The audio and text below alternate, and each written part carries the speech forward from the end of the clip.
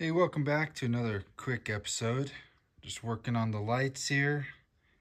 Got them for the most part figured out. Here's the unlock and lock. Of course, the other side is the same.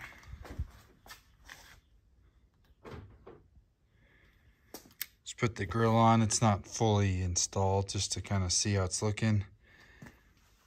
And you can see if I try to put the hood down on the third gens, this piece is higher where the fender mounts. But on here, obviously, it's going to hit the hood how it was designed. And the hole is a little lower. So how do you accomplish that? Well, I just used a heat gun and I bent this plastic down. It's not super perfect and super pretty, but as you can see, the holes are pretty much lined up. So that means I still get to use this without having to create a metal bracket that would have faced it when it was like that. Instead, I can just put a screw through here, bolt it, and I got that other mounting point. Of course, the grill, you can see it's not pushed all the way back in, but it goes on there. Gets a little, I might make a mount that goes here.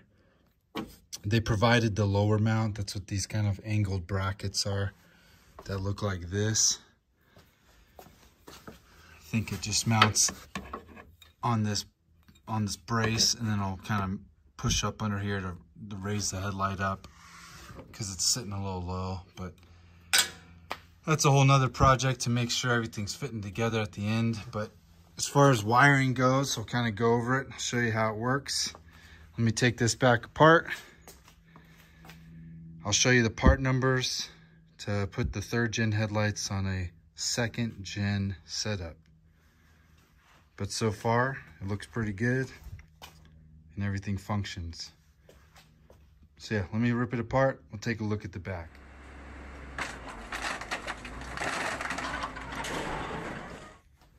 All right, got the headlight back down. First one to start is gonna be this part number, which takes care of the side marker so here's the original from the second gen. And there's a little teeny plastic piece that fits in there to kind of lock it from, uh, I guess, there's these little pins. It's very difficult to see, but they, those little tabs in there hold the metal terminals and then you just toggle them up with something like this dental pick after you pop this out slides right out once again, use a dental pick. And then the exact same wires, you just pop out and then they slide right inside of there and lock in. They have a similar pin. The only difference, of course, is how the little plastic tabs are designed on this third gen side marker piece. I think possibly this could still fit if you were to just trim these off. I mean, a wire is a wire, so either way, this is the correct way to do it snaps right in. These are in nice. It's now perfectly good. So that's for the side marker.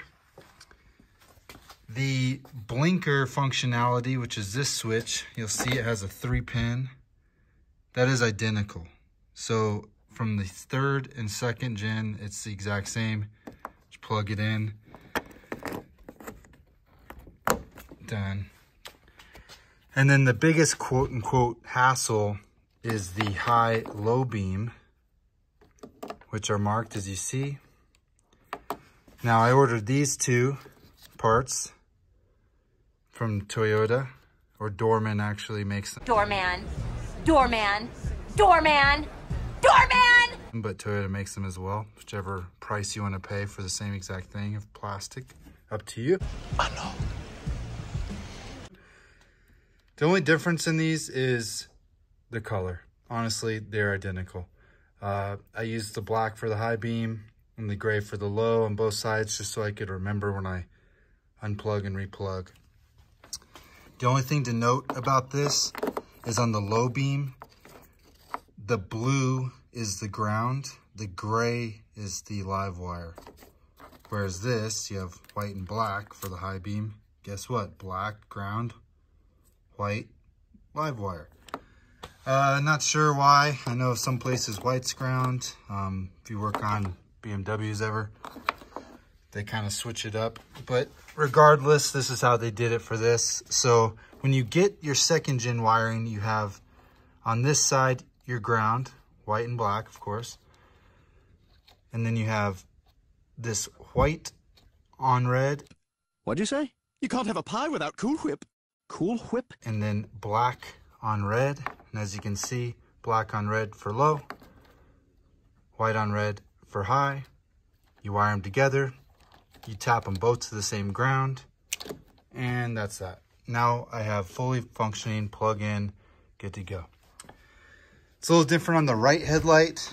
The only thing to note different is the wiring harness here is yellow on red and that goes to the low and then there's this what they call pink it's just kind of a red as well but they refer to it as pink in the wiring diagram and that's your high beam same thing they both connect to the ground and everything else is identical function wise on the right side besides the colors the only other thing is if you want to have the daytime running lights, which comes with the Alpharex setup, you have to tap in.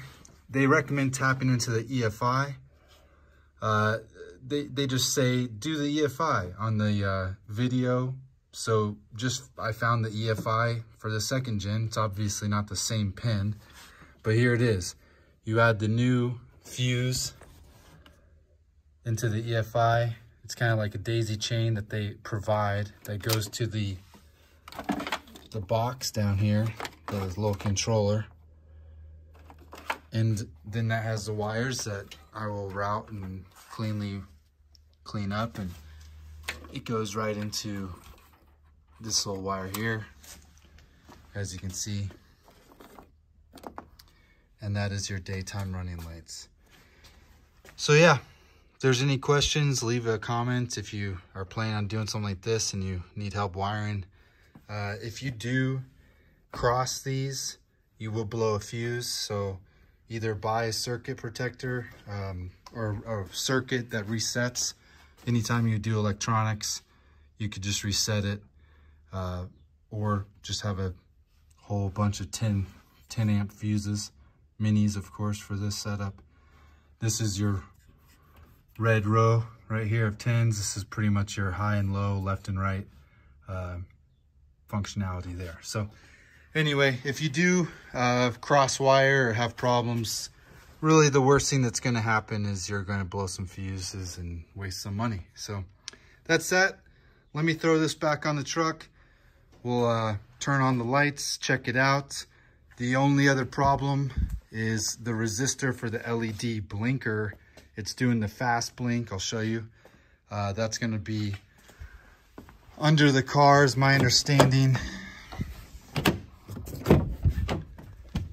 Under the dash, I mean, up on top of this fuse panel is the blinker relay. It's like way up on top. Uh, so you got to pull off this lower dash, couple screws. It's not that big of a deal. And then swap in something like this Mm-hmm. But yeah, this is a electronic flasher. This will allow LEDs. Um, not sure if this one will work. I have this from a motorcycle project I did. But either way, regardless, I've seen another version where you just drill out the solder that tells them to blink like that. Because, you know, it's just a function to tell you that your, your blinker's out or one of them's not working. Uh, for all I know, it's just doing that because the rear is not plugged in. So I'll test that as well. We'll see if it's still a problem. But I'll put it back together real quick and we'll check it out. I forgot to put in the crystals. All right, here it is. Come up to your truck, unlock it, get it in, put the key in.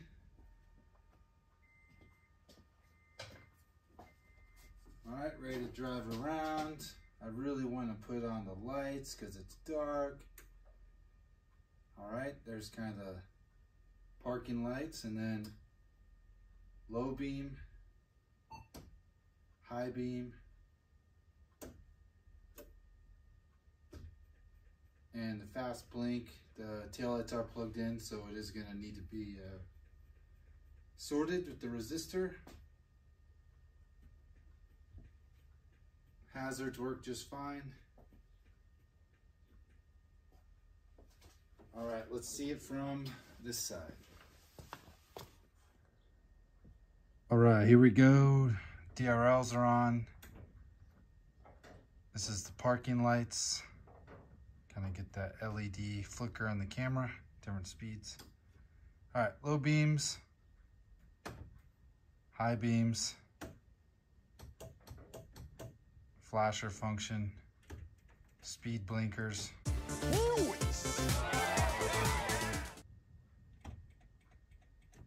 We'll deal with that later.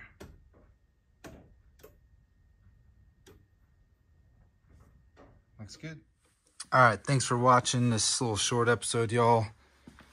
Next, we'll work with those uh, Total Chaos bed stiffeners on the rear. Next episode, we'll install those. And then from there, start finishing the body work. And really planning out everything else. Paint, sliders, bumpers. Yeah, it's coming along. Thanks for watching once again. See y'all next time.